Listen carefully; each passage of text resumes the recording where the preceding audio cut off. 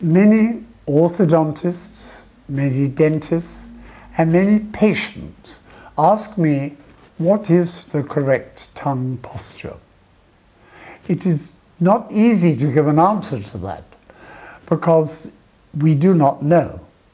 But judging from the ancient skulls that we have, we are fairly sure that they used to keep their tongue firmly against their palate for most of the day.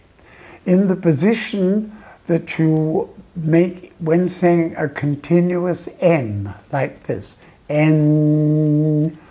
At that point, your tongue should just be touching the gum in your upper jaw. It should not be touching the lower teeth at all and only very slightly touching the upper teeth. Amazingly, about 97% of the modern population of um, the industrialized world swallows by sucking their tongue against the teeth.